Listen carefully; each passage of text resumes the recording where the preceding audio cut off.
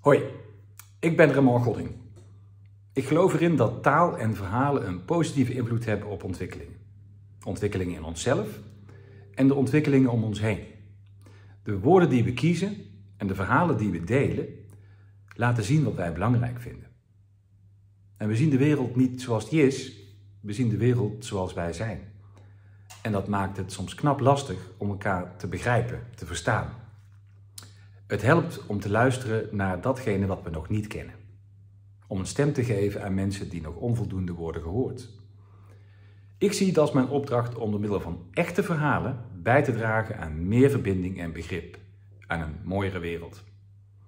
dat kan door te laten zien wat we gemeenschappelijk hebben, wat ons allemaal raakt, waar we samen voor gaan. Het afgelopen jaar deed ik een opdracht voor Urban Living Lab Breda. Dat is een beweging van betrokken meemakers uit alle lagen van de bevolking. Samen bouwen zij aan oplossingen voor de stad van morgen. Door samen te leren, elkaar te ontmoeten, krachten te bundelen en verrassende ervaringen tot stand te brengen.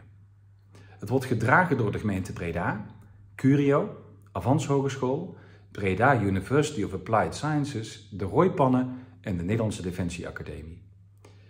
Ik heb veel mensen gesproken en een visieverhaal en communicatiestrategie gerealiseerd.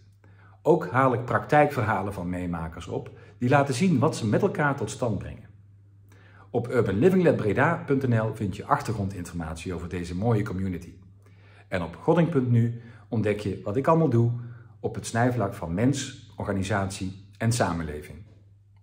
Ik geef het stokje graag door aan Hilde Bergsma, mede verantwoordelijk voor de duurzame herontwikkeling van de loods aan de Galjoenstraat in Tilburg.